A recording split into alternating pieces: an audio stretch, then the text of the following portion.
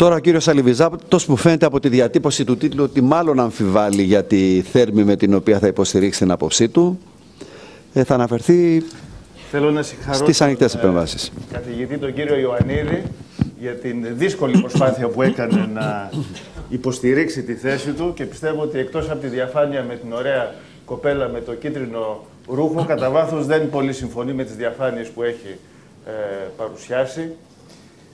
Το ερώτημα λοιπόν είναι, οι ανοιχτές επεμβάσεις είναι παρελθόν για την αντιμετώπιση της λιθίαση. Εγώ νομίζω ότι ε, το σωστό ερώτημα δεν είναι αν οι ανοιχτές επεμβάσεις παραμένουν η βάση της χειρουργικής ή αν είναι παρελθόν. Το σωστό ερώτημα είναι σε ποιες λίγες περιπτώσεις η ανοιχτή χειρουργική επέμβαση δίνει σήμερα λύσεις σε προβλήματα λιθίασης. Και είχαμε την ε, δυνατότητα μαζί με τον Αντρέα Δοσκολαρίκο πριν από δύο χρόνια να ψάξουμε σε βάθος όλη τη βιβλιογραφία για να απαντήσουμε σε αυτό το ερώτημα. Και θα σας μεταφέρω μερικά από τα συμπεράσματα αυτής της μελέτης, τα οποία δεν έχουν αλλάξει μέσα σε δύο χρόνια.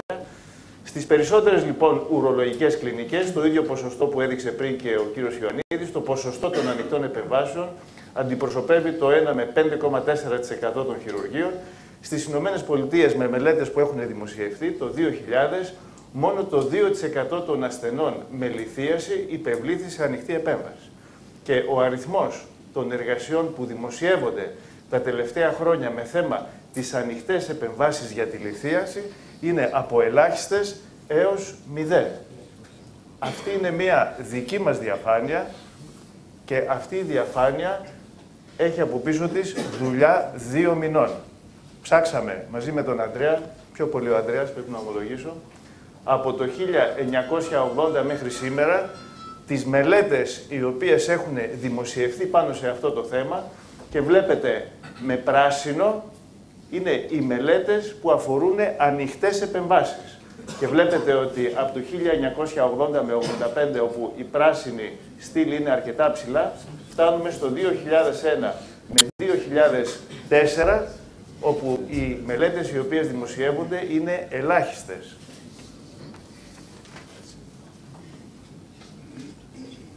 Είχα αρκετές διαφάνειες, αλλά επειδή είδα την ε, παρουσίαση του κυρίου του Λουπίδη και για να κερδίσουμε ε, χρόνο, πάω κατευθείαν στα συμπεράσματα. Η Ευρωπαϊκή Ουρολογική Εταιρεία, λοιπόν, τι λέει; Σε καμία περίπτωση λιθίαση ουρητήρα, όσο μεγάλη και να είναι η πέτρα, δεν χρειάζεται να γίνει ανοιχτή επέμβαση, εάν έχουμε σήμερα ένα εξοπλισμένο ε, χειρουργείο με όλες τις εναλλακτικές ε, λύσεις. Για λίθους στους νεφρούς κάτω από 2 εκατοστά, ανοιχτή επέμβαση είναι πιθανή μόνο σε λιθίαση από κυστίνη και μετά από αποτυχία εξωσωματικής λιθοτριψίας και διαδερμικής. Οι οδηγίες της Αμερικανικής Ουρολογικής Εταιρείας λένε ότι η ανοιχτή επέμβαση συνιστάται μόνο όταν ο ουρολόγος πιστεύει ότι δεν θα δώσει λύση μετά από πολλές προσπάθειες με κάποιες από τις άλλες μεθόδους. Και λέει ότι οι ενδείξεις για ανοιχτές επεμβάσεις είναι όταν έχουμε να αντιμετωπίσουμε έναν ασθενή που έχει ένα πολύ μεγάλο κοράλι, όταν υπάρχει μια δυσμορφία της ανατομίας του αποχετευτικού συστήματος, όταν έχουμε έναν άρρωστο ο οποίος είναι παχύσαρκος και όταν υπάρχει δυσμορφία του σκελετικού συστήματος. Εάν ψάξουμε τη βιβλιογραφία, και αυτή τη ε, μελέτη την παρουσίασε και ο καθηγητής ο κύριος Ιωαννίδης, αλλά εγώ κατάλαβα άλλα από τα συμπεράσματα. Είναι μια μελέτη που έρχεται από τα ε, Αραβικά Εμμυράτα και είναι η τελευταία ε, συγκριτική μελέτη που δημοσιεύεται στη βιβλιογραφία. Και το συμπέρασμα αυτής της ε, έχει δημοσιευτεί το 2005. Και το συμπέρασμα ήταν ότι η διαδερμική έχει εξίσου καλά αποτελέσματα με την ανοιχτή επέμβαση και λόγω των άλλων πλεονεκτημάτων της πρέπει να προτιμάται. Άρα και αυτή που είναι η τελευταία μελέτη που έχει δημοσιευτεί πάνω σε αυτό το θέμα, καταλήγει στο συμπέρασμα ότι πρέπει να προτιμάται η διαδερμική. Στη βιβλιογραφία υπάρχει άλλη μία μελέτη μετά το 2005, αλλά είναι ένα case report. Και αυτό έρχεται από το ΟΜΑΝ, που μιλάει για μία ανατροφική νεφρολιθοτομή ε, σε έναν ε, ιδιαίτερο ασθενή. Εάν ψάξει λοιπόν κανείς πάλι τη βιβλιογραφία, είναι δύο ωραία. Και τι είδους άρθρα δημοσιεύονται σήμερα πάνω στο θέμα της χειρουργικής αντιμετώπισης της λιθίασης, αυτό το οποίο θα βρείτε είναι όλο και περισσότερες μελέτες που προσπαθούν να δώσουν λύση στα προβλήματα που δεν μπορεί να δώσει λύση διαδερμική, με ποιο τρόπο, με την λαπαροσκόπηση.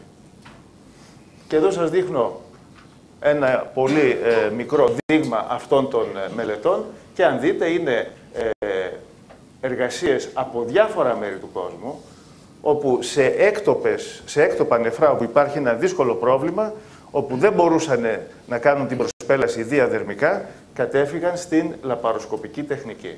Και θα ήθελα να πω και για την Ινδία που ακούσαμε, δεν συμφωνώ απόλυτα. Ε, η μελέτη που μας δείξατε, κύριε καθηγητά, ήταν του 1999. Εάν δείτε σήμερα τον αριθμό των μελετών που προέρχονται από την Ινδία πάνω σε διαδερμικές επεμβάσεις, ο αριθμός είναι τεράστιος. Και πολλές ε, μελέτες με καινούργιες τεχνικές, με tubeless ε, διαδερμικές, προέρχονται από την Ινδία.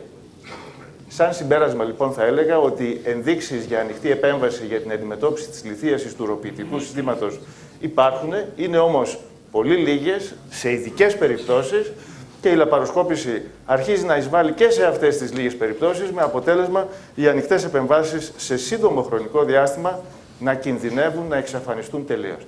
Να πω επίσης ότι Αναμφισβήτητα δεν υπάρχουν πολλά κέντρα διαδερμικών επεμβάσεων στην Ελλάδα, αλλά νομίζω ότι και αυτό αλλάζει σιγά σιγά όλο και περισσότερα σε όλες τις μεγάλες πόλεις, σε όλες τις πανεπιστημιακές κλινικές και σε πολλά μεγάλα κρατικά νοσοκομεία υπάρχει μια καινούργια γενιά νέων ουρολόγων που έχουν εκπαιδευτεί, εκπαιδεύονται και πιστεύω ότι σιγά σιγά θα καταλήξουμε και εμείς εδώ. Ευχαριστώ.